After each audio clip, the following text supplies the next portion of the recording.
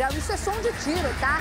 Na fuga, bandidos ainda atropelaram. Tá aí a imagem deles dentro desse carro e os policiais atrás. Eles atropelaram uma mulher de 53 anos. Foi atendida, está internada no hospital. Daqui a pouco a gente dá todos os detalhes com a imagem completa. Solta a buzina. A gente está chegando com muita informação. Credibilidade, jornalismo na veia, aquele que você confia, simbora, que tem muito mais. Imagens de câmeras de segurança mostram o desespero das pessoas para atender a adolescente que foi atropelada no Engenho Novo. Daí as imagens da correria, ela vai ser enterrada hoje. Daqui a pouco você vai ver a sequência de imagens, o desespero de quem viu, de quem tentou ajudar. Daqui a pouco a gente traz aqui e a gente te mostra ainda. Após um dia de confronto, a polícia reforça o policiamento na maré. Uma mulher morreu e outras cinco pessoas foram baleadas, sendo três moradores e um policial militar. O que está acontecendo? A cidade sitiada. Aqui a gente não tem medo, a gente fala a verdade. E por falar em operação, hoje teve operação novamente na Cidade de Deus. E adivinha, os bandidos mais uma vez bancaram o tiroteio com a polícia. Faz o seguinte, a gente vai para um rápido intervalo. Não saia daí que a gente volta já, 11h38.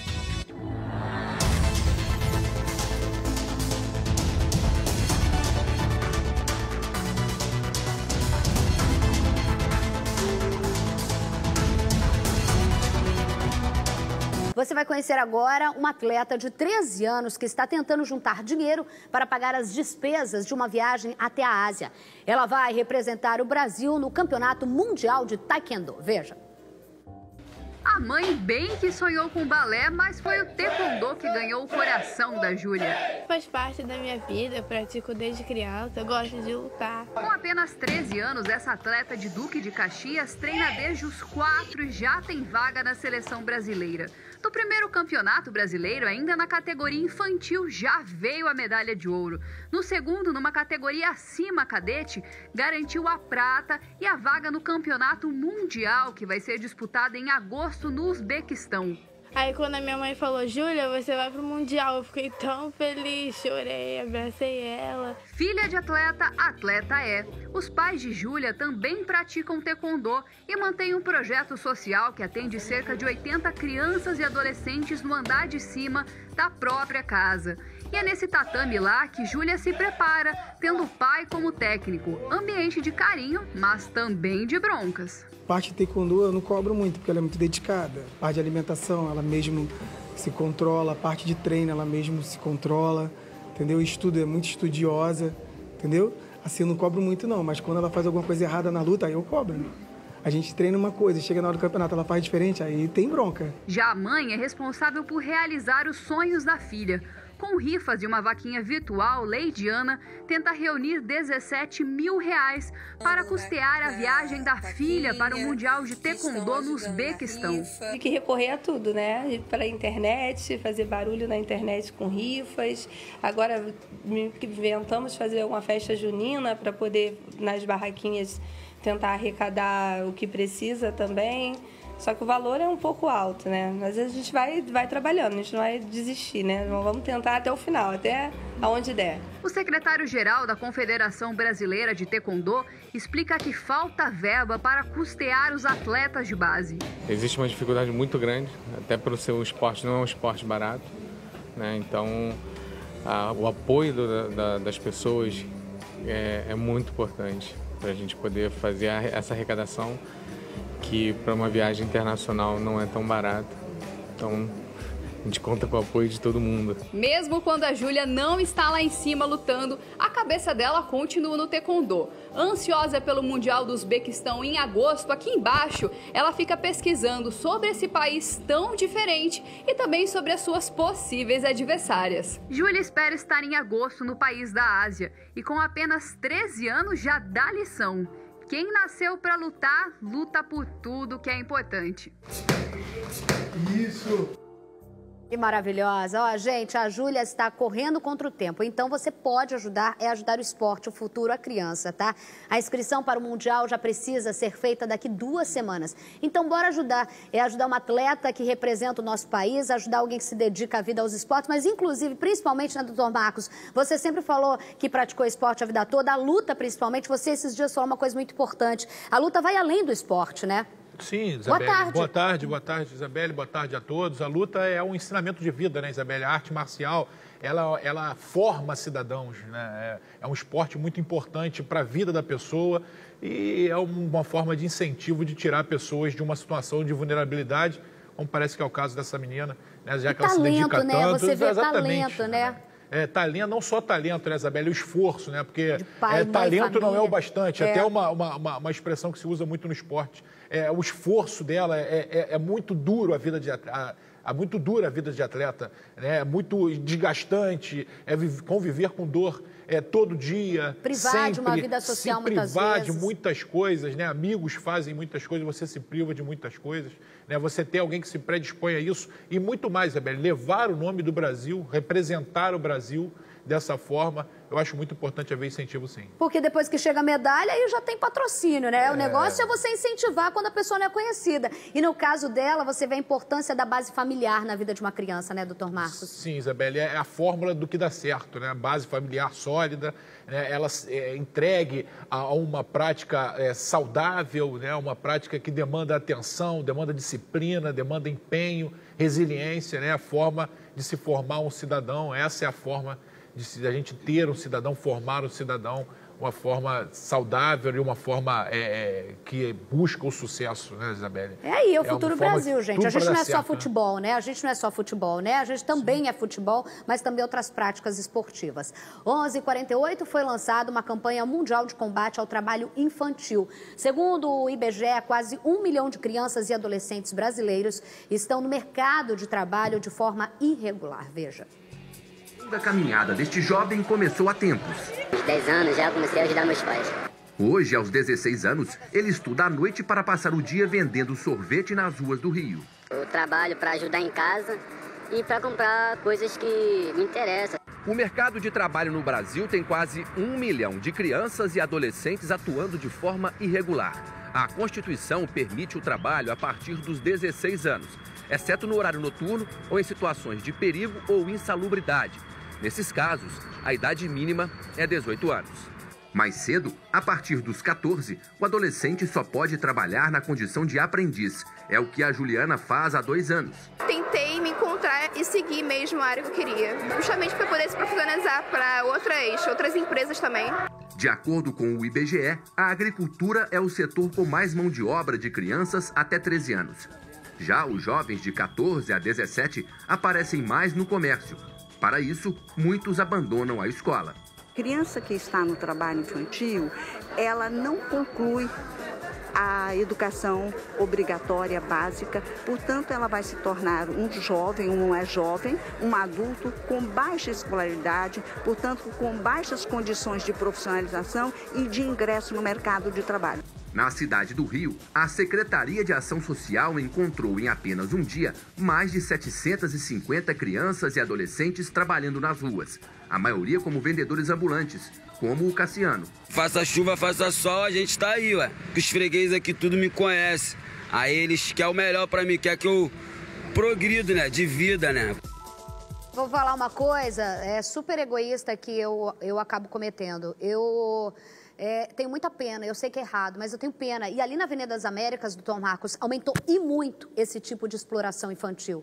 E aí eu fico com pena porque você está com o teu filho, com o bom e do melhor, dentro do teu carro, aí você vê uma criança praticamente da idade dele, vendendo bala, naquele sol, sem camisa. Ali você, eu, eu abaixo o vidro e falo assim, tá na escola? Óbvio que ele vai falar, tô. Mas não tá na escola. Aí minha peso na consciência sai e eu dou e compro uma bala. Mas isso é incentivar é, é a exploração, porque não é para ele o dinheiro, alguém está explorando essa criança ali, né? Então, Isabela, achei muito pertinente esse VT logo após o VT da, do, do, esporte. Né? É, um, primeiro, a fórmula que tem tudo para dar certo, e o segundo, a fórmula que tem tudo para dar errado. E a gente que incentiva, não, é melhor estar tá assim do que roubando. Não, não é melhor estar tá assim, não.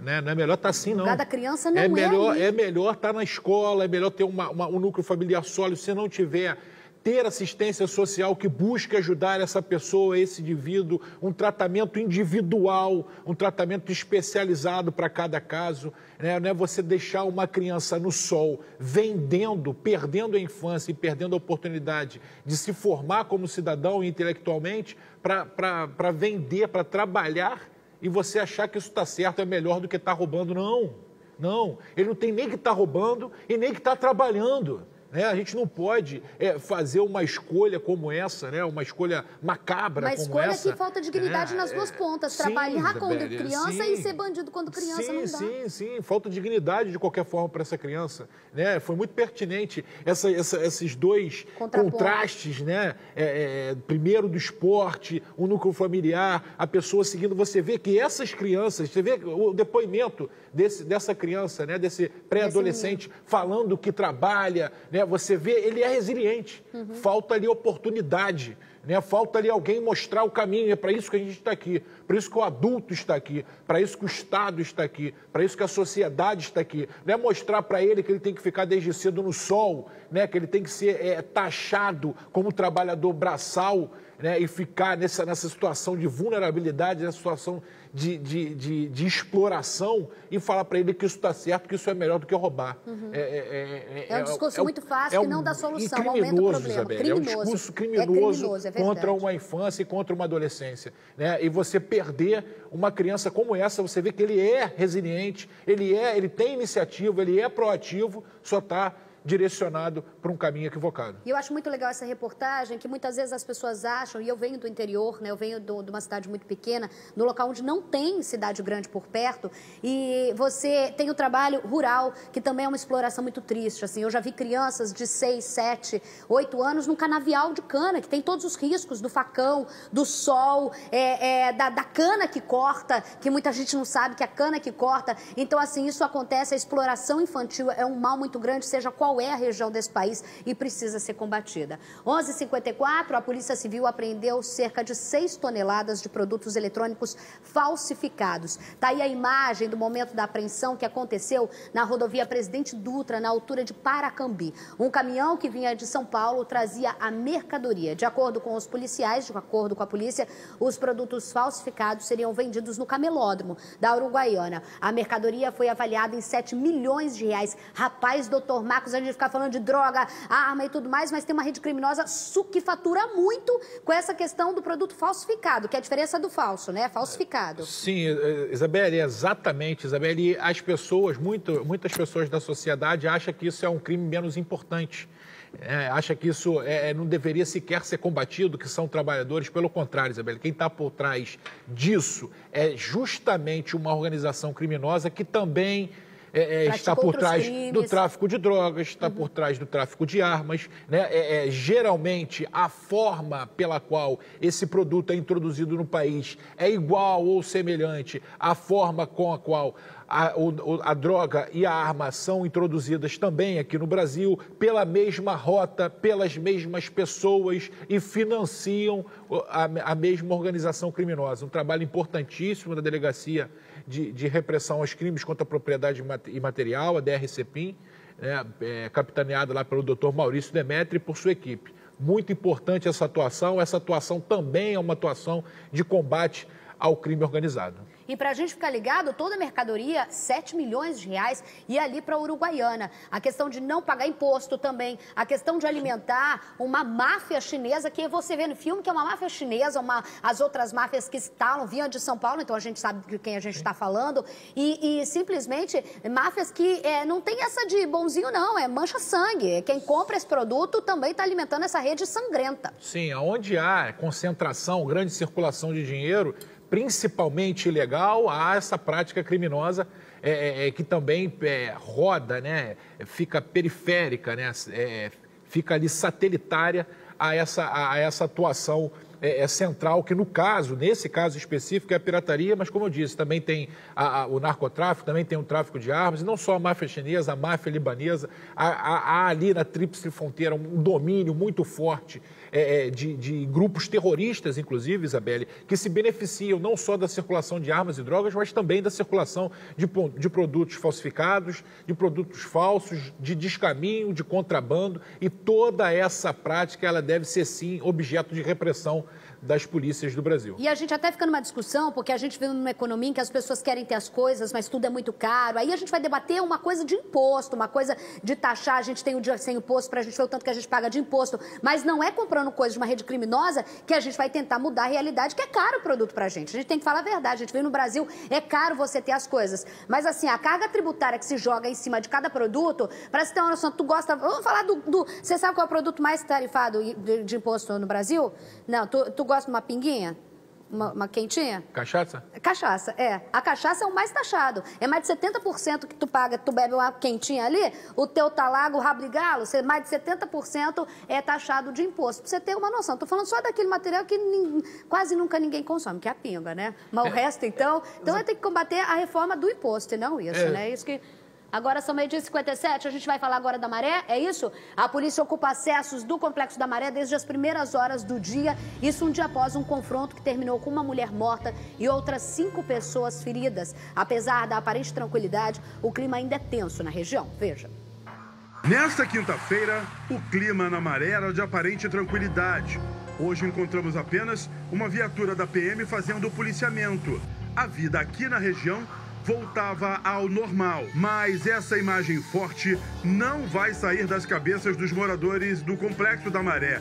Foi o momento em que Sheila Machado de Oliveira, de 34 anos, era socorrida. Ela foi atingida por uma bala perdida na operação da PM. Sheila foi levada para o hospital, mas não resistiu. Além dela, outros três moradores, um policial militar e um traficante ficaram feridos no tiroteio. A ação da Polícia Militar no Complexo da Maré começou na última segunda-feira. Dezenas de PMs fecharam o cerco para combater o tráfico de drogas. Eles foram recebidos a tiros.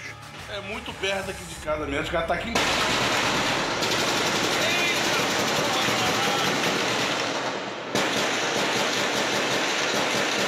Quem passava pela linha vermelha teve de se abrigar atrás das muretas, com medo de ser atingido por bala perdida. Quanto tempo vai durar isso? Os criminosos chegaram a utilizar as redes sociais espalhando áudios, determinando que as três principais vias expressas do Rio de Janeiro fossem interditadas. Isso acabou acontecendo em duas delas. As linhas vermelha e amarela tiveram tráfego de veículos interrompido por duas vezes. Durante a ação da PM, foram apreendidos uma tonelada de maconha, um fuzil, uma pistola, carregadores e munições. Olha só, a gente vai ao vivo agora com o Caio Alex, que tem mais informações. Caio, boa tarde para você. Onde que você está agora? Cadê o Caio? O Caio está onde agora? Está no Instituto Médico Legal, é, onde o corpo dessa mulher foi levado. Outras cinco pessoas é, baleadas. Eu nem vou contabilizar cinco, porque teve o tal do traficante lá, então ele a gente não vai contabilizar. Quatro pessoas baleadas, entre elas um policial militar e essa mulher que foi morta. Se tem mais informações, a Polícia Civil abriu inquérito para investigar a morte dela, né, Caio? Com certeza, Abel. A divisão de homicídios da capital abriu um inquérito para poder apurar o que aconteceu na morte da Sheila né, dentro ali do complexo da Maré. Ela que tinha acabado de sair de casa na Baixa de Sapateiro para ir para trabalhar. Levou um tiro no peito. O corpo dela foi trazido aqui para o Instituto Médico Legal, passou por exame de necropsia, que acabou agora há pouco. Duas pessoas que seriam ligadas à família da Sheila chegaram agora há pouco aqui no ML, mas ninguém quis falar sobre o assunto. A Sheila Isabel era mãe de três filhos, mais uma trabalhadora vítima da violência aqui no estado do Rio de Janeiro. Essa operação policial, essas ações da polícia começaram desde a última segunda-feira ali no Complexo da Maré por causa dessa onda de criminalidade. Isso porque o tráfico faz o que bem entende ali, tem armamento pesado, quase todos os fios quase todos os dias tem tiroteio naquela região. Aí quando a polícia chega, é o que acontece. Eles são recebidos a tiros e são obrigados a revidar. A divisão de homicídio vai aguardar também um laudo, né, que vai ser preparado aqui pelo Instituto Médico Legal, até mesmo para saber de onde partiu esse tiro, já que ela foi atingida por um disparo de fuzil, de acordo com a perícia feita no corpo. E também a pergunta que fica no ar, né? Quem é agora que vai cuidar dessas três crianças que tinham uma mãe guerreira que saía todos os dias para poder trabalhar e que agora vão ficar aí sem mãe no Rio de Janeiro? Essa é a grande preocupação. A família não quer falar, a gente não sabe ainda onde vai acontecer o velório ou o enterro de mais uma vítima da violência. É com você, Isabelle Benito. Olha só, a gente viu nas imagens uma imagem ali super forte do tiroteio é, em que a gente estava vendo. Daqui a pouco vai aparecer a imagem. Primeiro, agora o trabalho da Delegacia de Homicídios é se fala em fuzil, pode ser de qualquer lado, porque bandido é mais armado às vezes de fuzil do que a própria polícia. O trabalho da Delegacia de Homicídios é principalmente é, nessa perícia que o IML apresenta, né, doutor Marcos? Sim, sem dúvida nenhuma, a perícia do IML, também a perícia de local, caso é, é, é, tenha sido feita, mesmo que a posterior, né, pode ser feita uma perícia ali, a reprodução simulada dos fatos. Mas, Isabelle, você viu aquela filmagem, essa filmagem aí, é, me, que, foi feita, que foi feita pelo morador, né, Isabelle? É, é só você visualizar, ouvir a cadência de tiro. É muito... Aí você vai saber de onde está vindo os tiros. É vagabundo. Essa Raja... imagem ajuda? A quantidade de rajada, a, quanti... a extensão da rajada, né? É, é... Primeiro que as rajadas, o, o fuzil é, é, é, policial, ele tem rajada em burst. É, que que é rajada isso? controlada que a gente chama, é de três tiros. Então é, tá, pra, tá, tá. pra, pra, pra, pra. Essa é a cadência. Quando tem uma rajada de arma automática, essa arma é uma arma que não é uma arma policial. Ela é uma arma que está na mão de vagabundo. E você vê pela extensão, é um carregador. Se puder voltar na imagem, gente, é um, para a gente ouvir. É um carregador de grande capacidade. Uhum. Ou seja, com mais de 40, com mais de 60 de, capa de capacidade de projéteis, de, de, de, de munição, né? Uma capacidade maior do que 40, 60 munições. É, então você vê que essa pela imagem extensão, é importantíssima então para DH. É, você, essa imagem é importantíssima não só para DH, que já conhece muito do ofício, mas para quem não conhece a realidade do complexo da Maré, né, do que é a realidade das forças policiais quando entram no complexo da Maré, a forma com a qual elas são recebidas, das forças policiais, as forças de segurança, a forma com a qual atua já há muito tempo, há anos, Isabelle, desde que houve Aí, uma grande... Ouvir, doutor Marcos, o que você falou. Essa cadência disparada que você explicou agora. Essa cadência, essa, essa é, é, rajada, forma como ela é dada, isso é uma arma automática. São cerca uma... quantos tiros numa rajada dessa, para a gente ter uma noção? Depende, depende do carregador, Isabela. A rajada, você aperta o gatilho e sai quantas munições tiverem no carregador até você soltar o gatilho de novo. Né? Por isso é uma arma automática, ela sai em rajada. É, a arma semiautomática, você atira, solta o gatilho, atira, sai um disparo, solta o gatilho, a arma já está apta a fazer outro disparo. Isso é uma arma semiautomática. Né? O que, via de regra, é utilizada pela polícia e a, ou o burst, que é a rajada controlada. Você aperta uma vez o gatilho, sai, sai três munições de uma só vez. Então, uma rajada mais cadenciada. Daqui a pouco tem mais imagens e a gente vai falar sobre a situação justamente do Complexo da Maré, a realidade daquela região, seja Baixa do Sapateiro, seja Vila do João, é, que hoje amanheceu é, com reforço policial. Daqui a pouco também. Ah, tem Cidade de Deus também. E ah, o próprio Coronel Mauro Filias falou que não tem volta. Ontem ele falou isso ao vivo. Essa, essa, o, a, a, a, a, progressão contra o crime organizado dentro desses complexos complexos vai continuar. Ele falou ao vivo com todas as palavras ontem e a gente vai falar sobre isso. Meio de cinco, uma mulher é atropelada por um carro de bandidos que fugiam da polícia em alta velocidade em Honório Gurgel. As imagens são impressionantes. Os criminosos que estavam fazendo roubos na região trocaram tiros com os PMs e bateram numa árvore e acabaram presos. Fábio Barreto tem todos os detalhes. Rodou. Durante a noite, tiros e uma caçada da PM a bandidos pelas ruas de Honório Gurgel, na Zona Norte. Foram dois quilômetros em perseguição a ladrões acusados de fazer roubos na rua São Vicente, em Bento Ribeiro, na Zona Norte. Na fuga em alta velocidade, o grupo criminoso atropelou uma mulher. Amara Aparecida Pimentel de Jesus, 53 anos. Ela foi atingida pelo carro dos assaltantes na rua Nuaçu, que fica no outro bairro próximo, Honório Gorgel. A Mara foi socorrida e levada para o Hospital Salgado Filho, no Meier. Tava indo para casa, atravessando a rua para ir, pra ir para casa. Entendeu? Aí quando é, ela falou que nem sabe como que surgiu, da onde surgiu aquele carro que pegou ela de cheio. A polícia militar disse que a perseguição começou após a viatura chegar na rua São Vicente, onde os ladrões atacavam. Os PMs identificaram o carro dos assaltantes e deram ordem de parada. A resposta dos criminosos foi uma só: atirar e fugir. O resultado, além de atropelar a mulher, foi perder o controle do carro, bater numa árvore e acabar na cadeia. Carlos Henrique da Mota Menezes, 19 anos, e Gustavo Xavier Jacinto, de 33, foram presos. Além deles, havia um menor de idade no veículo que foi apreendido. Os dois criminosos ficaram feridos e foram levados para o hospital onde estão sob custódia. Com os assaltantes atropeladores, foram encontradas um simulacro de pistola e um revólver calibre 38. A vítima atingida pelo carro dos ladrões não corre risco de morrer. Ela não, não percebeu, né? Foi tão rápido que ela foi arremessada longe. Entendeu? Aí corri para lá, chamar os bombeiros, né? E agora tô aqui. Ela tá lúcida, tá falando, entendeu? Só agora esperando, aguardando os resultados do, dos exames. Olha só, gente, é impressionante como é difícil. É, eu fico, cada reportagem, doutor Marcos, seja do tiro, seja você aí de casa também, seja como pedestre. Ontem a gente teve a história triste da menina de 15 anos, é, atropelada por um ônibus, em que o cara foge, não, não presta socorro. O tanto que a gente sobrevive no Rio de Janeiro. Principalmente nas áreas mais. É, é assim, você pode morrer de qualquer jeito. Você, é assim, eu acho que.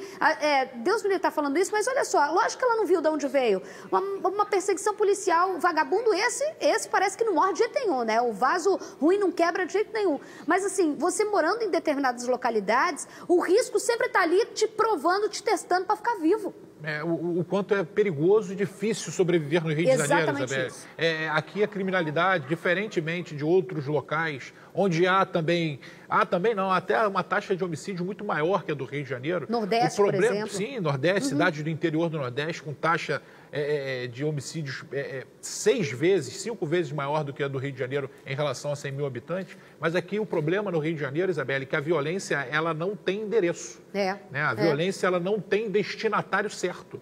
Ela pode atingir a qualquer um.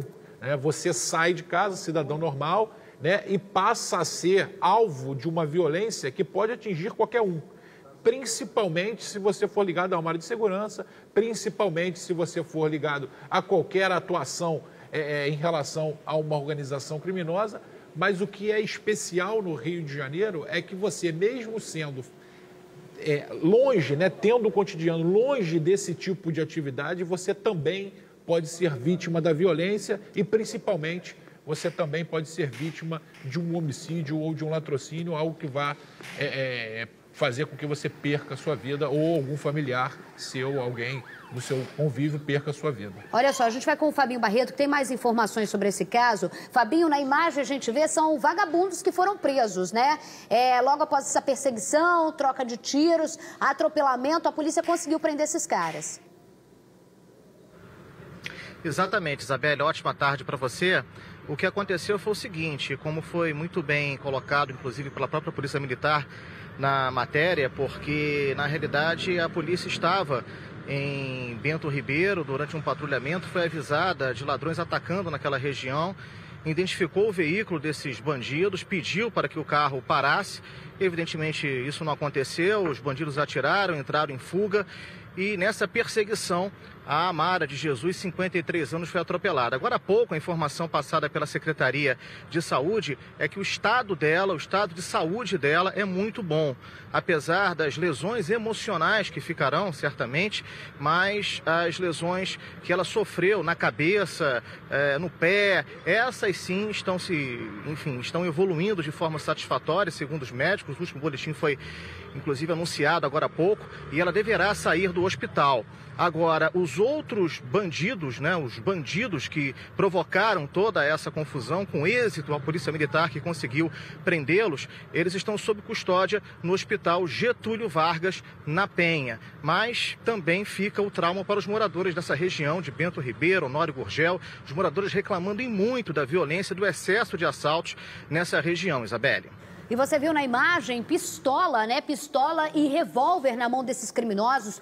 Ontem eu estava assistindo uma entrevista com a senadora Cátia Abreu e ela falou o seguinte: o perigo de armas é, no Brasil é que armas têm que ser colocadas, principalmente pistolas, por exemplo, na mão de pessoas que têm treinamento, ou seja, policiais, agentes de segurança. E mesmo assim é um treinamento que deve ser investido a todo momento. Aí eu fiquei pensando, doutor Marcos, meu Deus do céu, no Rio de Janeiro, esse tipo de arma termina. Você viu a imagem dos caras? Os caras têm o quê? É, 18, 19 anos, 20 anos. Essas armas param, no caso aqui, ela está falando no Brasil como um todo, falando em relação ao armamento e tudo mais, mas essa, é, essas armas aqui estão a cada esquina na mão desses, desses molecotes aí, ó, que tira a vida dos outros, que atropela, que mata, que bota arma na cabeça de trabalhador. Aqui o negócio é, o negócio é mais do que chapa quente. É, Isabelle, é um trabalho que deve ser feito, né? Primeiro, dividindo aí a, a, a em duas partes, né, esse, esse, seu comentário, né? Primeiro, né, uma atuação que deve ser feita da polícia em relação ao tráfico de armas, né, em relação a essa circulação de armas, como essa, essa facilidade, como, como, ela chega como aqui, como né? essa arma chega aqui, mas muito mais do que isso, né, Isabelle? A gente se importa muito, né?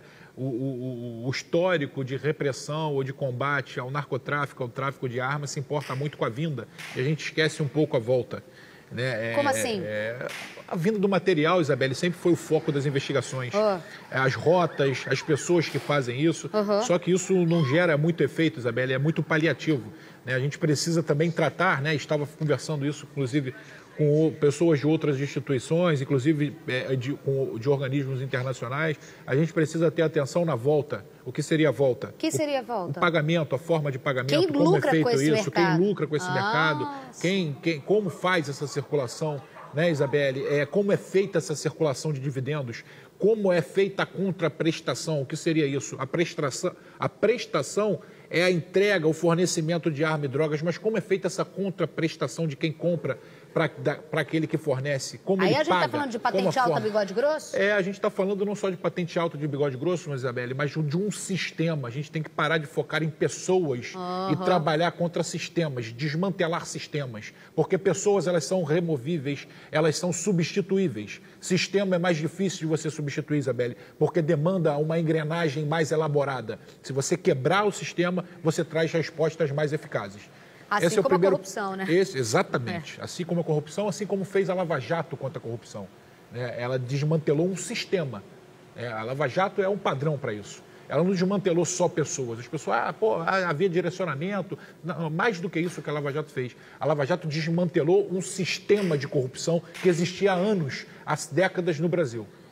Meio de 14, a gente vai voltar a falar sobre isso. Que, que a gente vai para onde agora? O ao vivo? É isso que estão chamando? Daqui, ah, e daqui a pouco eu quero falar o seguinte: a gente vai falar sobre a, a, a jovem adolescente que foi é, atropelada. É, daqui a pouco ela vai ser enterrada hoje ainda. Daqui a pouco a gente vai entrar nesse caso com imagens é, do circuito de segurança, do desespero. Mas antes estão me chamando: um filho é acusado, lá na sua terra, de matar o pai, professor e aposentado da Universidade Federal Fluminense, a facadas. A gente vai ao vivo com a Patrícia Hadley, que está para falar com a gente desse caso horroroso. Tem mais informações dessa história para a gente. Fala, Paty. Oi, Isabelle, boa tarde. A gente está aqui no IML né, de Niterói acompanhando esse caso, como você disse, é horroroso, né? Um caso chocante que aconteceu na tarde de ontem, ali em Cambuinhas, que é a região nobre né, da, da parte oceânica de Niterói. E o que, que aconteceu? É, o filho, o Christian Cunha, de 32 anos, ele primeiro agrediu a irmã.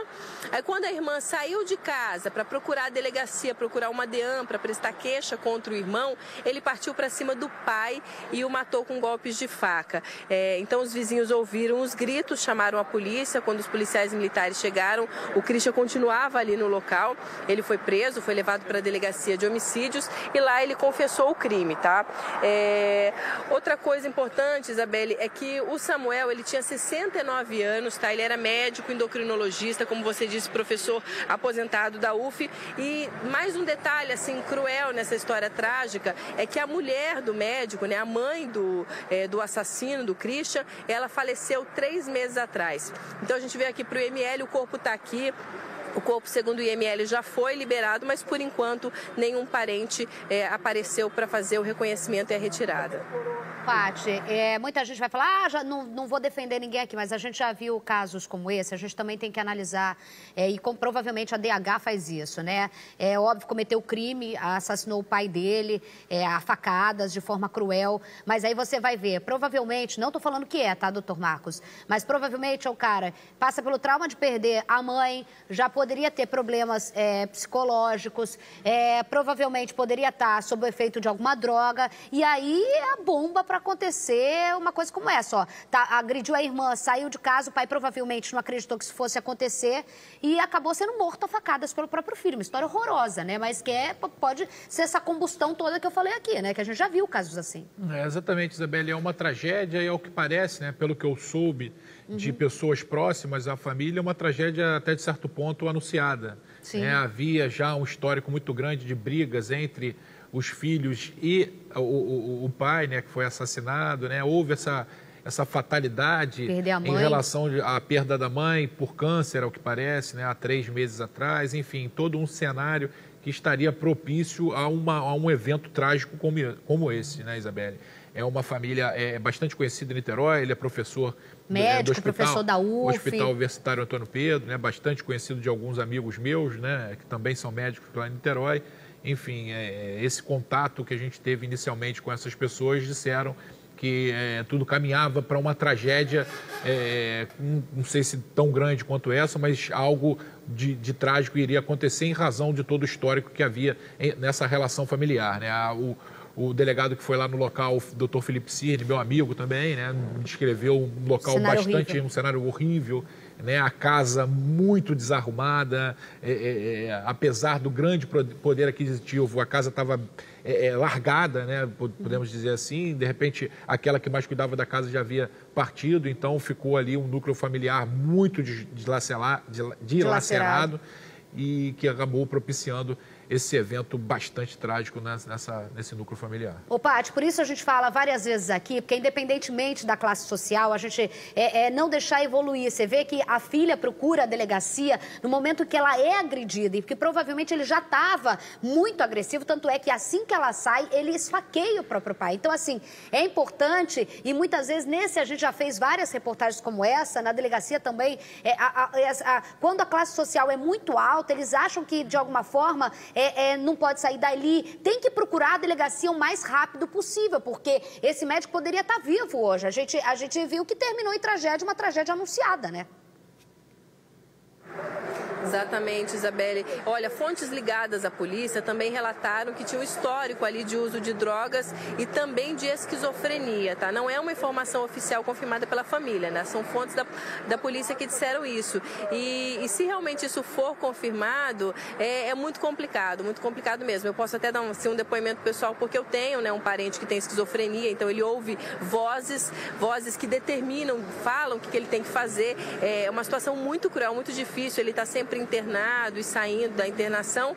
E aí é, o, o pai desse meu parente, né, não vou dar muito detalhe, mas o pai desse meu parente, ele dorme com a porta trancada. Ele dorme com a porta trancada porque assim o comportamento é violento, é, existe um histórico de agressões. Então a gente não sabe se é o caso do Christian, tá? Deixando bem claro que a família ainda não confirmou essa informação. Mas fontes ligadas à polícia disseram isso, que ele tem um histórico de esquizofrenia. E como vocês né, comentaram no estúdio, uma tragédia que, que era anunciada, né? Que era anunciada e acabou aí. É uma história horrível, né? Uma história familiar horrível. Eu fico pensando agora nessa, nessa menina, né? Que, que sobreviveu, a irmã, é, perdeu a mãe, aí perdeu o pai, morto pelo irmão, o irmão tá preso. Então, assim, uma situação muito difícil, uma vida que vai é, ter que recomeçar agora, não se sabe nem como, né? E assim, é, é, os padrões se repetem, né, gente? Por isso que a gente falou que é preciso procurar ajuda. E eu falei, como os padrões se repetem, eu nem sabia dessa informação. Provavelmente provavelmente é um histórico ligado a drogas, porque não é que todo mundo que é, tem uma, uma, uma, vai perder alguém da família vai sair esfaqueando os outros membros da família. Então você vai começando a ver que os padrões se repetem. Daqui a pouco a Paty vai voltar, ela está na porta do condomínio onde tudo aconteceu. É, daqui a pouco a gente vai voltar a falar sobre isso. Paty, segura aí, porque agora a gente vai falar da Cidade de Deus. A gente já falou hoje da Maré, a gente vai falar da Cidade de Deus. Mais um dia de operação na Cidade de Deus. Na ação, os policiais apreenderam drogas e um fuzil. Jackson Silva.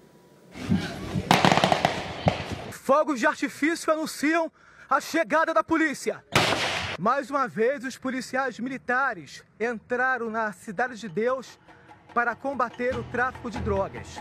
Nesta outra rua, eles colocaram pedaços de concreto e um trilho fechando os acessos. Vários materiais para embalar entorpecentes foram apreendidos dentro de uma casa na localidade conhecida como 13. A gente observa aqui tem vários vidros para colocar entorpecentes. Aqui também tem dois galões com produtos para refinar a cocaína. Os acessos à comunidade foram fechados novamente em menos de 12 horas após a retirada de barricadas nesta quarta-feira. Nesta rua, os bandidos colocaram pneus e madeiras. Durante a operação de quarta-feira, um homem identificado como Amauri passou mal. Vizinhos chegaram a pedir ajuda do SAMU, mas o socorro não foi.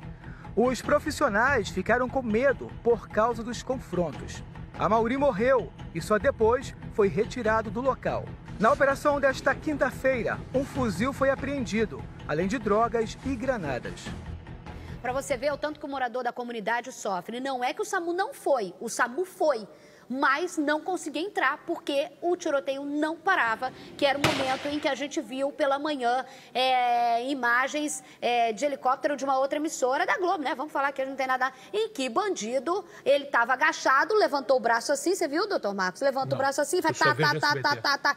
Corta para mim, Reinaldo, porque às vezes a pessoa não está vendo o que eu estou fazendo aqui. O bandido levantava a mão e fazia assim, ó, sem olhar. Nesse momento, esse morador passou mal, porque não parava. O Barcel falou ontem aqui, foram 20 minutos de tiros sem parar até a polícia chegar na localidade onde estavam esses criminosos que só saíram depois que viram o helicóptero da Polícia Militar. E aí o SAMU foi, mas o SAMU não vai entrar. Desculpa, eu também não entraria para tomar um tiro e não ter nem SAMU para me socorrer. Infelizmente, o morador que aconteceu acabou morrendo, acabou morrendo porque não tinha como chegar o socorro até ele. Olha, e ainda tem gente que fala que a gente não está vivendo em guerra com traficantes, doutor Marcos. E tem gente ainda que fala que não é necessário o uso do helicóptero. Você acabou de descrever. O vagabundo ficou lá resistindo até quando a chegada do uso do helicóptero. É lógico que eles vão criticar o uso do helicóptero, pô. Você acha que o vagabundo vai querer que tenha helicóptero? Principalmente se ele está no terreno plano, que o helicóptero faz diferença. É lógico que o vagabundo tem que criticar o helicóptero. Eu fico é, é, estupefacto, né, Isabel? Desculpa a palavra, eu fico abismado né, é, é, de pessoas que não são, ou pelo menos não estão ali carregando armas, né, é, como os vagabundos resistindo, que defendem também o não uso do helicóptero, né, é completamente alijado, como você disse, completamente fora da realidade do Rio de Janeiro. Morador. Né, quem so... Exatamente, se tivesse um helicóptero ali desde o início, esse tiroteio teria demorado menos, teria durado menos, porque o vagabundo não vai ficar ali se expondo para tomar um, um, tiro do helicóptero e, de repente, esse morador teria sido salvo com a entrada do SAMU, com a estabilização do ambiente. Em nota, a assessoria de imprensa do Corpo de Bombeiros informou que havia risco para os socorristas por causa desse intenso tiroteio que acontecia na região. A assessoria informou ainda que, nesses casos, há um protocolo de segurança que deve ser cumprido. A equipe que não se sentir segura para entrar em determinada área pode acionar apoio policial. Em alguns casos, os bombeiros podem recomendar que a vítima seja levada até um ponto com mais segurança para que o atendimento seja realizado. Gente, olha isso. Foi o que aconteceu na ocorrência mencionada e a vítima foi encaminhada para o Hospital Municipal Lourenço Jorge. A gente mostrou semana passada que um carro do Corpo de Bombeiros foi socorrer uma pessoa dentro da favela e o cara o, o, motorista bombeiro não foi atingido por pouco. Lembra que acertou o tiro na coisa dele? Tem que ter, gente. É a crueldade, é o sim ou não, entendeu? Ou eu ou o cara. Eu quero salvar, mas eu vou morrer, daí eu também não salvo o cara e morro. É, é, é a realidade que a gente vive. Eu vou voltar falando em realidade, a falar com o Caio Alex sobre o complexo da maré. Ele tem mais informações. O Caio, hoje pela manhã, ali no complexo da maré, é, principalmente na Baixa do Sapateiro, onde aconteceu a morte da Sheila, tinha um reforço policial é, muito forte inclusive fazendo blitz até em horário de rush. O policiamento continua por lá? Olha só, Isabelle, eu até não posso dizer para você que era um, um, policiamento muito forte, não. A gente chegou a flagrar imagens, uma viatura com dois policiais militares naquela região, o que seria muito pouco do que a gente viu desde segunda-feira até agora, daquela intensa troca de tiros que aconteceu na localidade. Mas, de repente, até tiraram esse grande efetivo de polícia dali para evitar novos problemas. Somente ontem, Isabelle, 49 escolas dentro daquela região não funcionaram. Foram centenas e milhares de crianças que deixaram de estudar. Nesse exato momento, aqui no Instituto Médico Legal, os familiares da Sheila estão aqui dentro, tá? A gente não sabe se é irmã, tia, enfim, são duas pessoas da família. Chegaram aqui, não querem falar com a imprensa. Uma delas estava bastante, assim, é, entristecida pelo que aconteceu, não conseguia sequer conversar com os colegas da imprensa. A gente não sabe ainda onde vai acontecer esse velório e o enterro. O que se sabe foi que essa mulher trabalhadora saiu de casa na Baixa do Sapateiro para ir para o trabalho trabalho e levou um tiro de fuzil no peito. Mãe de três filhos pequenos, menores de idade. Essa realidade que, infelizmente, as pessoas que moram em comunidades que são vítimas de conflitos acabam vivendo, né? E principalmente ali no Complexo da Maré, que a gente sabe que a criminalidade ali é muito forte, o número de armamento ali também é muito grande. Lembra-se nos governos anteriores que tentava-se mesmo, tentava-se implantar uma UPP ali dentro, se eles sequer conseguiram fazer isso. Ali dentro do Complexo da Maré, a gente tem um batalhão, Batalhão da Maré, que fica bem colado à linha vermelha, mas que por mais que faça ações ali, acaba sendo muito pouca, né, Isabelle? Porque a criminalidade vem forte, e toda vez que tem operação, tem helicóptero, eles atiram para cima do helicóptero. É um tiroteio que acontece quase todos os dias, mas infelizmente quem acaba sofrendo é o morador de bem. É com você, Isabelle. Olha só, eu falei do policiamento reforçado que eu vi. Eu vi era muita polícia hoje, por volta de 10 para 7 da manhã. Até olhei no relógio para dar informação aqui. Ali na, na Baixa do Sapateiro, no, na Vila do João não tinha, mas na Baixa do Sapateiro tinha e muita polícia. É, dois pontos. É, é, eu vou discordar só de uma, de uma coisa que é, é em relação aos outros governos tentaram. Tentaram porcaria nenhuma. Mentira, a gente achava que estava tentando. Ah, não tentou, porque daí você vai achar que, poxa vida, o governo é, que, te, que ficou na mão quase 10 anos com a maior verba, tentou ajudar o povo do Complexo da Maré. Mentira! Eles mentiram para mim, mentiram para você. Aí isso tudo para reeleger alguém que está preso hoje, tá? Então essa é a grande verdade. O que aconteceu é que eles inflaram esses bandidos, eles armaram esses bandidos e hoje que a gente vê na imagem de duas vias é, fechadas nos dois sentidos no mesmo dia, que foi a linha amarela e a linha vermelha, é o reflexo disso. E eu vou falar uma coisa para vocês, é, a curto prazo a curto prazo a gente não vai, não dá para ver. Segurança pública média a longo prazo eu aprendi com vocês. E outra, isso tudo com muito trabalho, com persistência e a dificuldade é a seguinte: quando a doença está muito forte, como é o caso, às vezes o remédio é, é desesperador. Mas e aí, faz o quê? Faz como, né? Pois é, meio-dia 28, eu vou ao vivo agora com a Karine Cerqueira. O corpo de jovem atropelada pelo ônibus foi enterrado, vai ser enterrado hoje à tarde. A gente vai ao vivo com a Karine Cerqueira, que tem mais informações. Inclusive, cá, imagens foram divulgadas do desespero das pessoas no momento que aconteceu o atropelamento, né? Pois é, Isabelle, boa tarde, boa tarde a todos. Foi um momento realmente desesperador quando o ônibus da linha 639 Jardim América Sans Pena invadiu a calçada onde estavam aí Alessandra Almeida da Silva, a jovem de 15 anos, e a avó dela. A avó dela não sofreu ferimento algum, mas a Alessandra sofreu. Ela foi socorrida, levada para o hospital, mas não resistiu aos ferimentos e vai ser enterrada hoje às 17 17 horas no cemitério da Penitência, no Caju. O velório acontece um pouco antes na Capela 1. É, a empresa informou que está vendo e ajudando a polícia com informações e imagens do ônibus. Olha só, eu vou falar bem a real aqui. Ontem eu fiquei pé da vida, é, tem até o vídeo, e quem quiser pode compartilhar, pode falar é, diante da, do posicionamento é, da SEDAI, porque segundo os próprios moradores, e eles que têm a voz, porque são eles ali ó, que vivem nessa realidade, do buraco tá lá, o ônibus ter, como assim outros atropelamentos aconteceram, porque tem buraco na via, o ônibus vem, acaba indo para a calçada, ou seja, falta de tudo. Eu meti a boca aqui, doutor Marcos, aí muita gente falando o seguinte, é, ah, Isabelle, você também criticou pelo motorista não prestar socorro, mas motorista aqui, eu mesmo defendo motorista aqui, ele cobra, ele dirige, está errado. Agora, rapaz, Você pode ter dirigido, sei lá, 100 horas, se atropela alguém, ninguém, qualquer um pode atropelar. Agora, você não prestar socorro? Ah, desculpa, não, não dá. Aí falaram, ai, às vezes ele não viu. Como ele não viu que atropelou uma menina?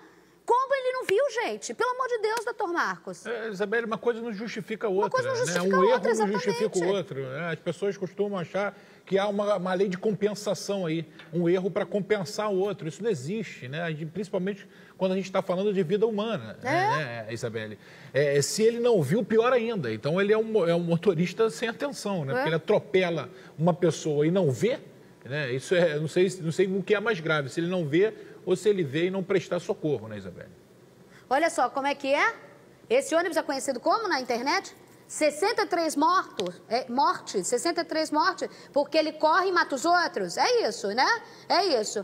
63 mortes, é isso. Aí o povo ainda falando assim, poxa, Isabelle, você foi cruel com o motorista. É, é, você traduziu o que eu quis dizer. Eu não tô falando que é certo o motorista cobrar e dirigir. Pelo contrário, a gente fala assim, mas, meu amor, olha só, querido. Se você fizer uma mancada dessa, a gente até falou que muitas vezes tem o perigo de linchamento, ok? Então se dirija à delegacia mais próxima. Doutor Marcos, a mim fiz merreca, aconteceu isso Liga. isso, não parei. Liga o 93. Aciona o 93, não parei porque eu tinha medo das pessoas me matarem e tal, tal, tal. Rapá, uma coisa é, você é, é, é, é- é ainda mais na profissão de motorista, que você pode acontecer isso mesmo.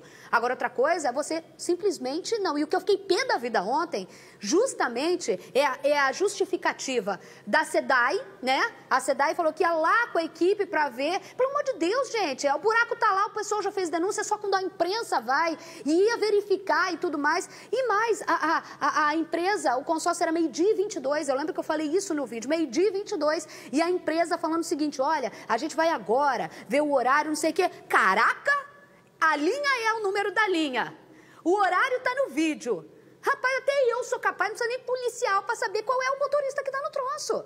Não precisa nem. Se a gente pegar aqui no SBT, quem é, quem é que estava na pauta tal, no horário tal, a gente sabe quem é o, motorista que está dirigindo o carro do SBT. Impossível vocês não saberem. É, é impossível não saber quem que está dirigindo o ônibus. doutor. É não querer, a empresa não é que está cuidando do motorista. Ela não quer, não quer é se comprometer, não quer assumir também erro. Não, não, não é nem questão de se comprometer. É Essas notas padrão, Isabelle, se você pegar principalmente de órgãos públicos, pegar o histórico, né? É fácil de fazer, é tudo igual, é aquela nota genérica, Ah, mas daí né? é descaso, aquela né? nota, exatamente. É descaso, isso né? demonstra, isso ao, Isso ao mostra o fundo, descaso com o povo, né? exatamente, ao fundo, o cenário é, é, em que isso se insere é justamente o descaso. Né? A empresa poderia ter falado, ó, o motorista já foi identificado e a informação é, já foi ou está sendo repassada pela polícia, ponto. Você vê a objetividade da pessoa, né? a objetividade da pessoa jurídica, a objetividade da empresa em, em querer resolver. A mesma coisa a SEDAI. O problema já foi identificado, nós já temos notícia em relação a isso já e já está sendo é, é, é, elaborado ou está, está sendo executada uma, uma, uma obra, uma reforma, né? a solução do problema. Agora, pra sua menina morrer, pra eles zerar, você viu? Tinha equipe é, botando lá, sua menina morrer, pra eles mandarem o funcionário fechar ali. Agora, em relação ao hospital, eu vou falar aqui bem claro, tá? Ontem mesmo, eu dei um dedo na minha cara, falando que o hospital, é que muita gente falava de manhã que o hospital tinha negado o atendimento. É, a gente falou aqui, mas quando o diretor deu a entrevista, ontem mesmo eu aqui falei, eu que dou dedo na cara dos outros, eu vou dar dedo na minha cara e vou falar quem é a autoridade, assim como a polícia é a autoridade, assim como o médico é a autoridade no local, assim quando eu vou apurar uma informação, eu sou a autoridade jornalística que sei como apurar uma informação, assim que o médico falou que preferiu fazer o atendimento lá para estabilizar a vítima, eu falei quem manda é o médico. Então que o, que, que o hospital estava certo e tudo mais. Ah, então, então foi dado ontem, mas estou reforçando aqui porque tem gente que, né, é mimiseiro demais, meio de 34. Eu vou ao vivo falar sobre é, o caso do filho, voltar com a parte, o filho que matou a facadas, é, o pai que era médico, professor aposentado da UF, lá em Niterói. A Paty tem mais informações pra gente que está em contato com a DH. Fala, Paty. Isso, Isabelle. A gente continua aqui na porta né, do IML de Niterói. A gente vê, ó, o portão aqui fica fechado, né? Então a gente não tem é, acesso livre, né? O segurança controla a entrada, mas eu já apurei que a família do Samuel, que é o médico morto a facadas pelo filho, não veio até o momento aqui no IML para fazer a, a liberação do corpo, tá? Então o corpo está aqui, já foi inclusive, né, é, periciado, mas nenhum familiar por enquanto apareceu para fazer a liberação desse corpo, né? Esse crime que aconteceu na tarde de de ontem, né, na região ali de Cambuinhas, é uma área nobre, né, da, da região oceânica aqui de Niterói, e é um crime muito chocante, né, porque é uma tragédia em família, né? É o autor que matou o pai, né, o Christian Cunha, de 32 anos, ele primeiro agrediu a irmã.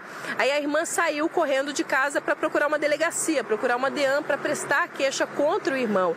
E no momento em que ela saiu de casa, o Christian se virou contra o pai e matou o aposentado a facadas, tá? O pai tinha 69 anos. Então os vizinhos ouviram os gritos e chamaram a polícia. Os policiais chegaram na casa, é, o Christian não tentou fugir, ele não reagiu, ele estava ali no local do crime, ele foi preso, levado para a delegacia e confessou ter matado o pai, né? E um componente, é, um detalhe, né, nessa tragédia é que a mãe do Christian faleceu três meses atrás. Então algumas fontes ligadas à polícia relataram um histórico de uso de drogas e também de esquizofrenia, né? Não é ainda uma informação oficial, mas existiu esse depoimento ali, pessoas que conversaram com os policiais vizinhos, né, ali na, na hora do crime. E agora, é, enfim, né, Isabela, é, é uma tragédia, é uma tragédia mesmo em família. E essa menina, né, que perdeu o pai, perdeu a mãe e está com o irmão nessa situação. Olha só, Paty, para você que está ligando a televisão agora, a gente está acompanhando esse caso muito é feio, né, doutor Marcos? É um caso muito triste em que de uma família muito conhecida, doutor Marcos é de Niterói, falou que é muito conhecida é, em Niterói, e que o filho acabou matando é, o pai a facadas após agredir a irmã que estava na delegacia. Agora o caso está na delegacia de homicídios, que vai fazer, claro, ele está preso, né? É, mas vai fazer ainda é, toda essa averiguação se tinha o problema histórico é, de problemas psicológicos, se estava usando entorpecente e tudo mais. A gente está acompanhando ainda esse caso. Está meio de 36, a Polícia Civil concluiu que a professora desaparecida em Olaria em junho do ano passado, na verdade, foi morta pelo marido. Nós demos o caso e chegamos a entrevistar o suspeito, Reinaldo da Silva Bandeira. Olha só o que ele falou à época. Tá passando um carro preto por aí, aqui, chamando as pessoas, é, correndo atrás das meninas aí. Foi essa suspeita levantada por Reinaldo da Silva Bandeira em junho do ano passado, quando foi entrevistado pela reportagem do SBT Rio sobre o desaparecimento da esposa, a professora Tamires Cristina Costa Bandeira, de 27 anos. Só que agora, uma investigação da Delegacia de Descoberta de Paradeiros aponta que Reinaldo, na verdade, matou a esposa após descobrir uma mensagem amorosa no telefone dela e sentir ciúmes. À época, o desaparecimento foi comunicado pelo próprio marido. Tamires teria saído de casa para fazer um exame em um hospital no Engenho de Dentro e ainda ia buscar uma roupa comprada pela internet em Madureira. Mas para a polícia, Tamires sequer saiu de casa. Reinaldo teria assassinado a esposa e escondeu o corpo dela dentro do quarto por três dias. Depois disso, pediu a ajuda do pai para fazer a ocultação do cadáver que até hoje não foi encontrado. A Delegacia de Descoberta de Paradeiros pediu à Justiça a prisão dos dois. Foi um ano de sofrimento para a família da vítima, entre as lágrimas pela tristeza de não saber onde estava a professora, também a luta para tentar encontrá-la. A mãe tinha esperanças de achar a filha viva. Se minha filha tivesse machucada, se tivesse morta, a gente já tinha encontrado. Então ela não está nenhum desses dois. Então ela tem, algum, ela tem algum lugar e ela vai aparecer. Em seu perfil em uma rede social, Reinaldo negou o crime. Publicou que está se sentindo tranquilo e que vai provar a inocência dele. Coloca, por favor, o que abre o VT, Dudu, a entrevista dele à época, quando ele estava tentando encontrar a esposa. Coloca aí o que o Reinaldo fala, solta aí para mim. Tá passando um carro preto por aí, aqui, chamando as pessoas, é, correndo atrás das meninas aí. Foi essa suspeita? Vem aqui comigo. Eu não sei, é muito fácil a gente falar agora, né? É muito fácil pegar a enxada depois que o quintal tá parado.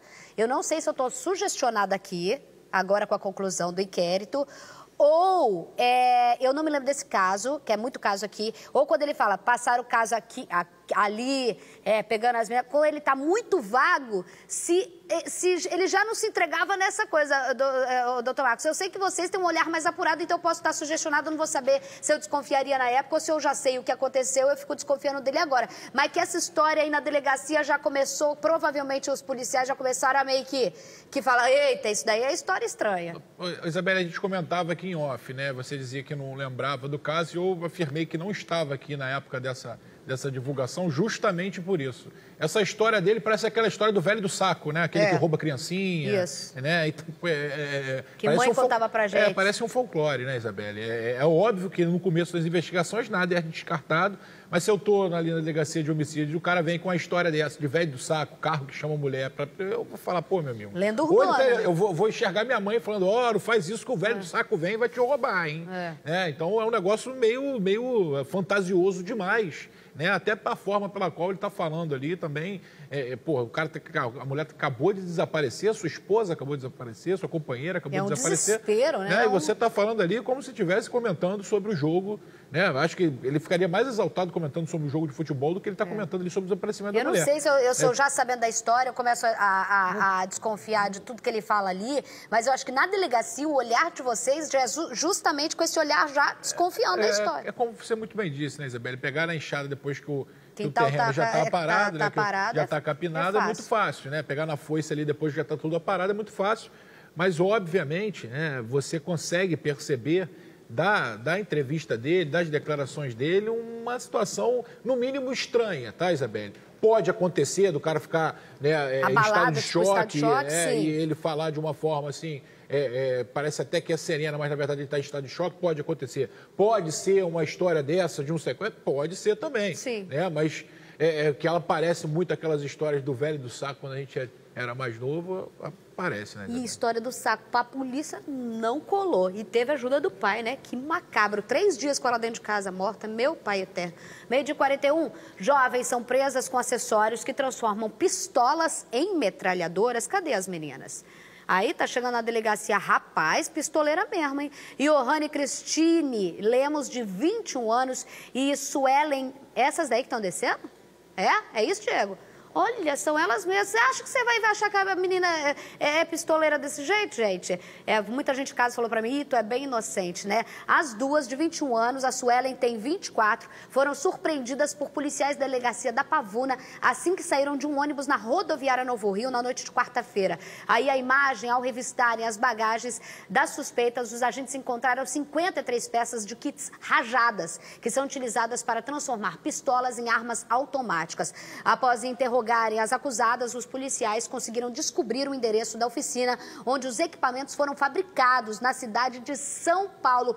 Marcos Amin, não é, não vai ter um monte de agente da Pavuna lá, vamos tentar essas duas aqui parece pistoleira e abrir. Não, né? Trabalho de investigação, ficar ali no sapatinho para chegar. E detalhe, você vê como é importante a prisão? Elas já deram onde era a oficina e tudo mais, né?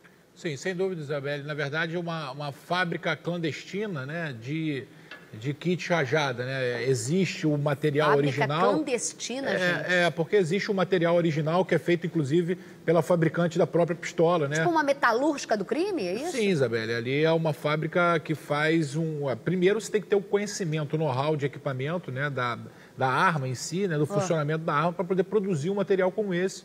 E depois o conhecimento, né? Para poder produzir em série, em massa, esse tipo de material. Né? Um trabalho foi muito bem feito ali pela 39 DP, pelo doutor Rodrigo Barros, que obviamente não chegou ali de supetão. Né? Não foi Houve... surpresa, não, não foi, roleta russa, foi, não. Foi, né? Obviamente foi embasado em algum elemento de informação que ele tinha anteriormente, conseguiu capturar essas duas é, é, mulas, que a gente chama, né? essas duas intermediárias que estavam levando esse material para algum lugar e foram na fonte e conseguiram é, é prender e apreender todo o material da fábrica clandestina desse tipo de equipamento. Roubo de cargas, polícia prende bandido que fazia motorista refém. A Karine Cerqueira tem as informações pra gente. Ele ficou sob o poder dos bandidos, não é, Cá? Pois é, foram momentos de terror ali para ele. Tudo aconteceu na Avenida Brasil, na altura de Coelho Neto, né? Como é que aconteceu? O carro vinha junto com o veículo que transportava aí, tá o homem que foi preso, transportava a carga de cigarros. E a quadrilha agiu da seguinte forma: um homem entrou no veículo que estava com a carga de cigarros e outros homens armados renderam então a escolta, a segurança dele que vinha em seguida. Mais policiais do BPVE foram acionados e aí houve perseguição, troca de tiros, né? Até que eles conseguiram recuperar, a gente vê aí nessa Fiorino, né, um caminhão, um carrinho de carga, toda a carga que ia ser roubada, né, que era de cigarros.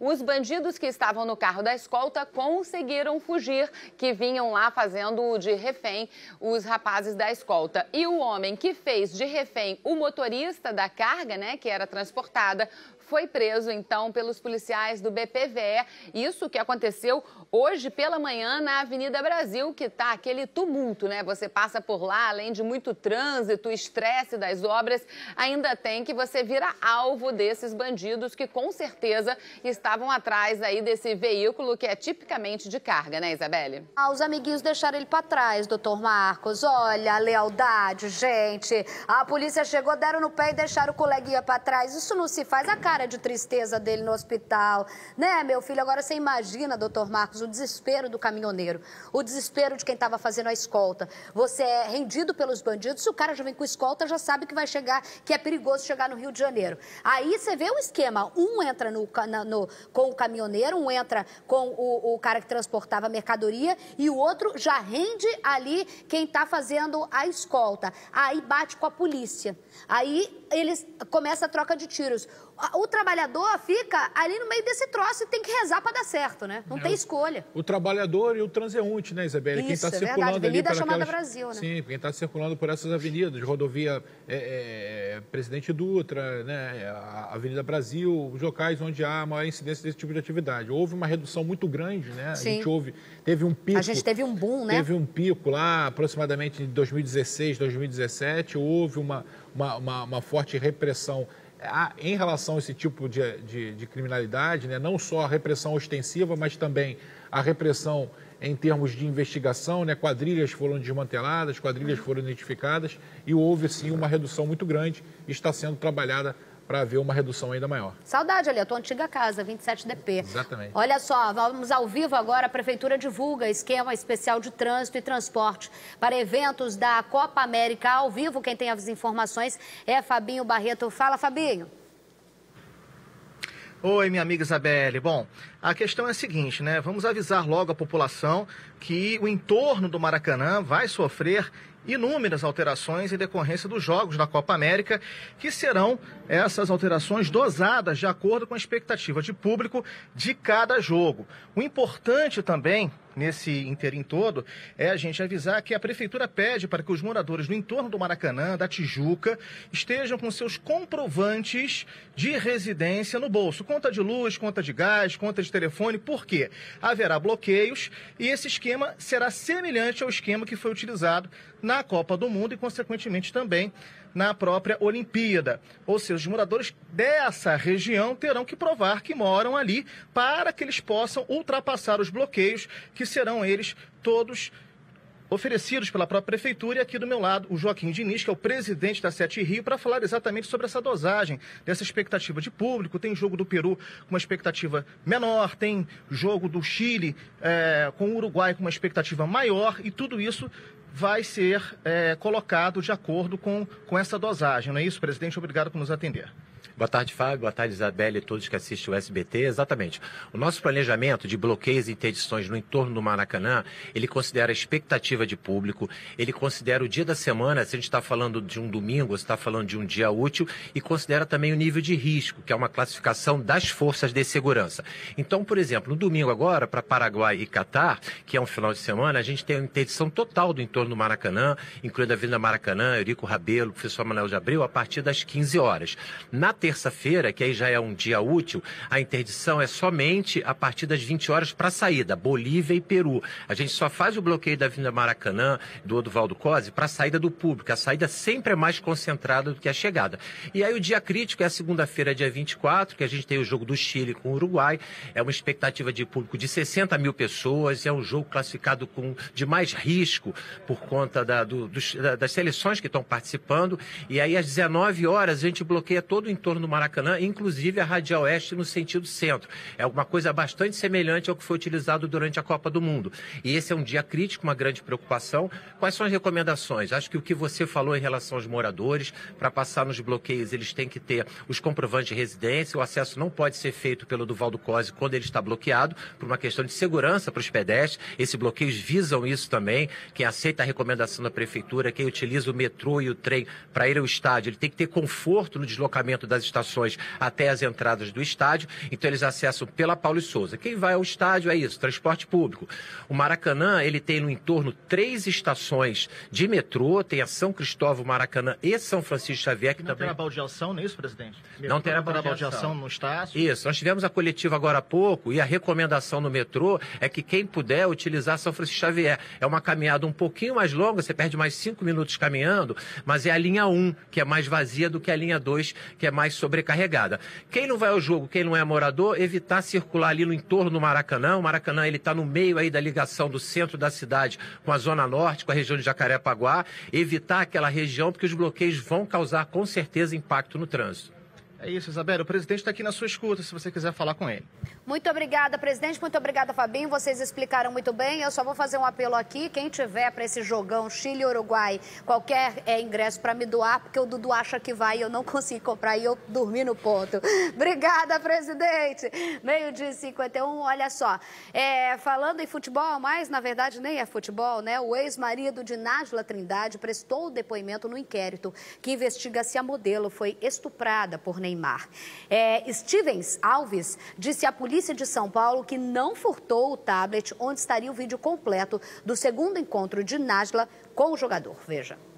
O advogado disse que o ex-marido da modelo iria explicar que não furtou nenhum tablet quando foi buscar pertences para o filho na semana passada. O tablet que ele retirou, né, o tablet do filho, um tablet cinza. A entrada dele foi após o arrombamento do apartamento, que segundo informações teria ocorrido na quarta-feira. E ele entrou na quinta-feira, depois que ela encaminha uma mensagem para ele, solicitando que ele vá até o apartamento dela para retirar os pertences do filho. A polícia não confirmou o arrombamento e informou que a porta estava apenas destrancada. No tablet da modelo estaria o vídeo completo do segundo encontro de Nájila com Neymar em Paris. O ex-marido da modelo também registrou um boletim de ocorrência em que diz estar sendo ameaçado. As ameaças estão ocorrendo pelas redes sociais, né? De que ele é um aproveitador tal. Também nesta quarta-feira, as promotoras que acompanham o caso disseram que a palavra da vítima conta muito em crimes contra mulheres. O delito sexual, em 80% dos casos, ele é feito, praticado, se ocorre em quadro de quatro paredes. Sempre a palavra da vítima conta muito.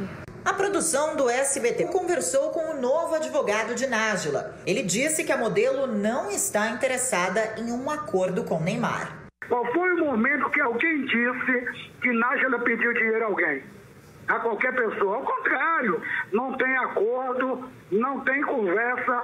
A Polícia Civil de São Paulo registrou um boletim de ocorrência contra a Nájila pelo crime de difamação. Segundo o documento, foi imaculada a honra da polícia e dos servidores responsáveis pela coleta de impressões digitais no apartamento da modelo, quando ela deu a seguinte declaração ao repórter Roberto Cabrini. A polícia tá comprada, né? Ou não? Eu tô louca. Se os policiais que trabalham no caso confirmarem que se sentiram ofendidos, um inquérito será aberto e Nájila terá que depor novamente.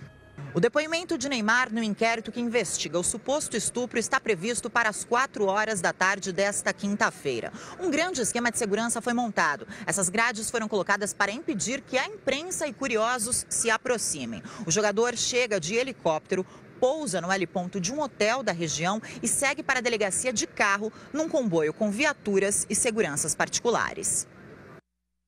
Vivo para São Paulo, Neymar deve depor a qualquer momento. Quem está lá é minha amiga Karina Sabino. Kalina, falei Kalina, ah, conheço. Eu, Diego, acho que a gente nem é amiga, né, Kalina? Falando Kalina. Boa tarde, Cá. E aí, ele já chegou por aí? Oi, Isa, boa tarde para você, para todos que nos acompanham. Não, ainda não, está prevista essa chegada para as 4 horas da tarde. Ele desce de helicóptero em um hotel aqui da Zona Sul, que fica próximo à Delegacia de Defesa da Mulher, onde ele vai depor para a delegada Juliana Bussacos. Ele deve chegar aqui por volta das quatro, todo um esquema de segurança foi montado, inclusive nós da imprensa, nós ficamos atrás dessas grades.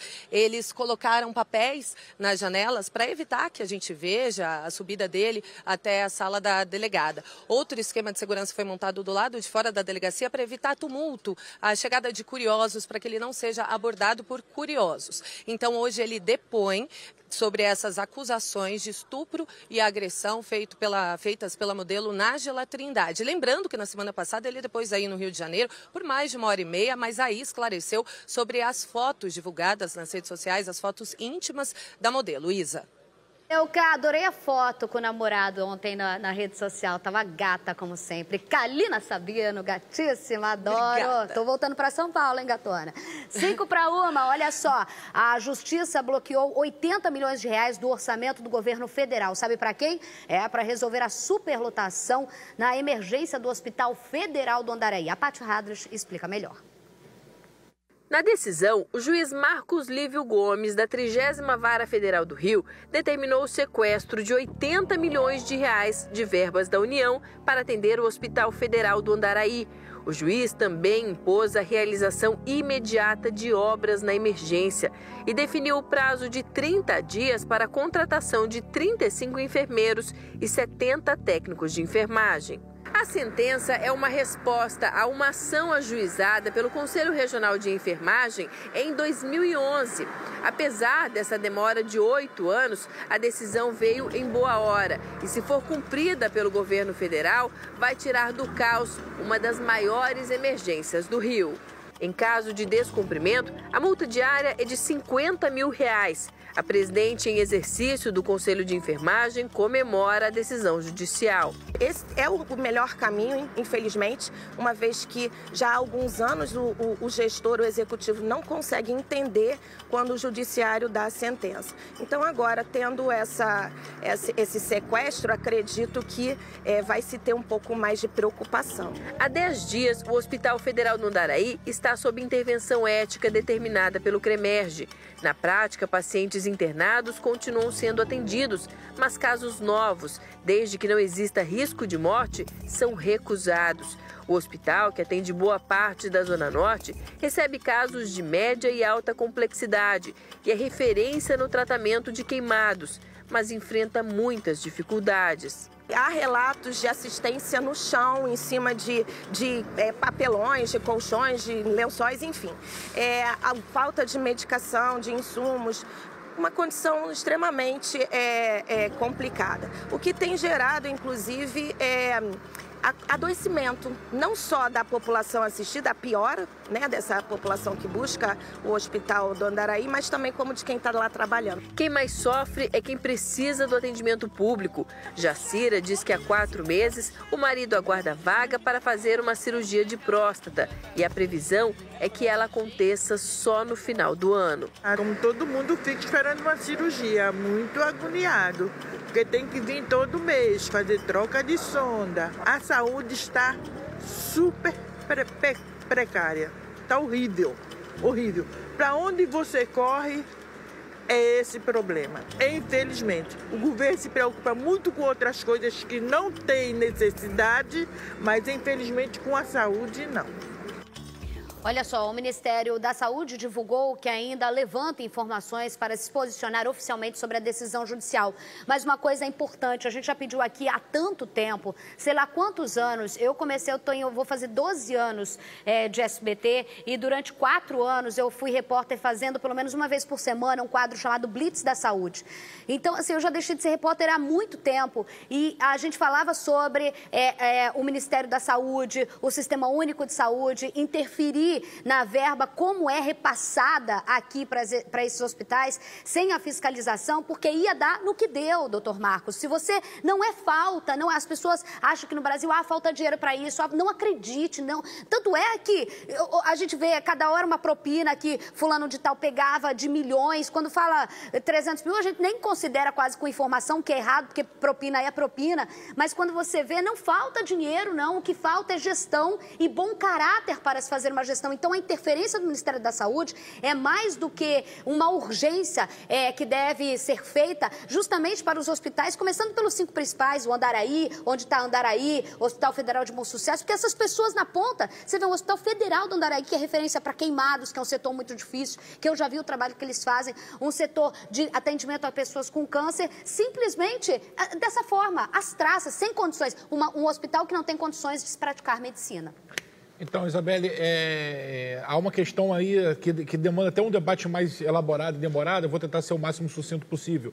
É, eu não sei em relação ao caso específico do Hospital Federal de hum. Andaraí, mas eu vou falar, por exemplo, de outro hospital, que é o INTRO, né, o Hospital Nacional de Traumatologia, né, uhum. que estava passando por um problema que era o seguinte, Isabelle, tinha dinheiro, uhum. mas as pessoas não tinham a coragem, vamos dizer assim, de fazer as compras por causa simplesmente, Sim. Isabelle, quem for da área jurídica ou quem for é, é, jornalista, por exemplo, é. se comprometer com isso, vê, vê um, um, artigo que é o seguinte: direito administrativo do medo. Uhum. Né? As pessoas, no afã de, de, de fiscalizar, órgãos no afã de fiscalizar, é, é, essa transação, né, contratações, licitações, elas acabam emperrando a máquina pública. A burocracia é necessária, ela deve existir, né, isso está.